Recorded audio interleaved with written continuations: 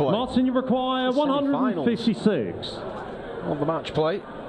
Just more proof that he was a world class player. Doesn't matter where he played. Oh, yeah. Double 18. Game shot. on Listen to the crowd. Martin Adams.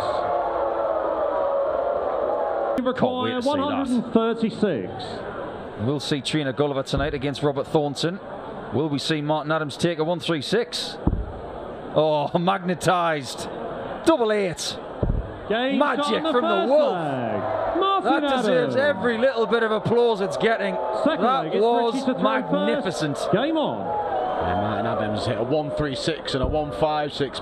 I agree. Very messy indeed. He couldn't do it again. He's got to stay. Oh, what, who, what do I know? 150. Game shot Incredible third from. Martin Adams. Martin we Adams. said the 156 came when there was no pressure.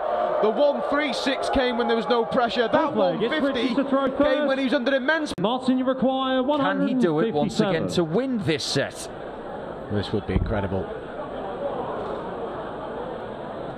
Howson looking on. The Wolves at it again here.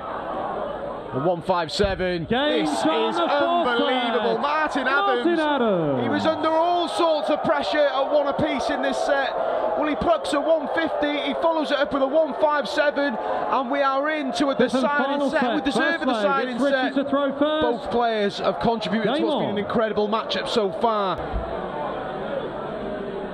The evidence, the difference, those finishes to dig himself out of the hole, and just when you th- felt Richie Howson was going to cause the upset, Martin Adams the door, but 180. him off too soon here. Splendid leg. 1 2 1 after 9.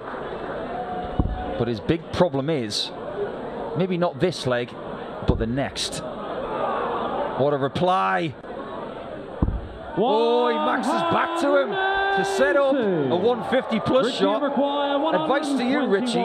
Hit this. Howson down for treble 17.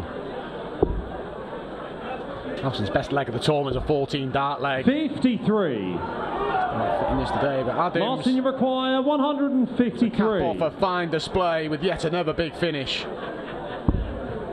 Wow. People think he's going to hit it, and he might. Welcome, Wolfie, to the quarterfinals. What a way to do it! It's no fluke because there was a cacophony of massive finishing from Martin Adams. He enjoyed every minute of that, and Richie Howson had the best seat in the house to see a finishing masterclass from one of the best players of all time. Wow, Martin. Way to bring these people to their feet on Friday night. We haven't even seen Phil Taylor against Peter Ladies Manley and yet. Richie And we can barely see the stage. qualifier.